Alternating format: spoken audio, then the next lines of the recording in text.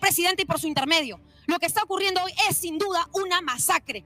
Y hay de ahí quien lo niegue, porque finalmente, y quisiera citarles para esto el artículo 128 de nuestra Constitución que tanto osan defender, en donde dice lo siguiente, todos los ministros son solidariamente responsables por los actos delictivos o violatorios de la Constitución o de las leyes en que incurre el presidente de la República o que se acuerden en consejo, aunque salven su voto, a no ser que renuncien inmediatamente.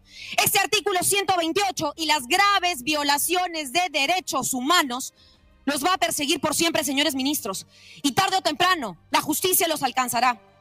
Ya sus carreras, ya su prestigio están manchados para siempre con sangre y sangre inocente, sangre del pueblo. Y lo menciono también, señor presidente, porque hemos escuchado al señor Otárola engañar al país. El día de ayer ha dicho en una conferencia de prensa que no permitirá la sonada que se plantea en contra de Lima. Y yo le pregunto al señor Otárola por su intermedio, señor presidente, ¿es él premier de Lima o premier del Perú? Le pregunto, señor presidente, y por su intermedio, ¿quién autorizó apretar el gatillo y disparar? ¿Quién ordenó salir a matar y quién avala hasta el día de hoy esa práctica, señor presidente?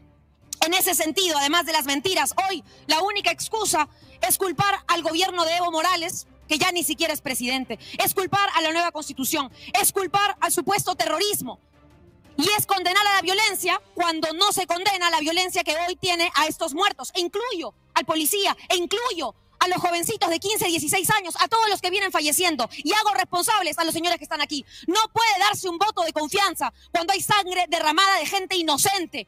Para los saqueadores y delincuentes la cárcel, pero no más muerte y no. Tiene la palabra el congresista Carlos Anderson. Dos minutos. Mantengamos el silencio.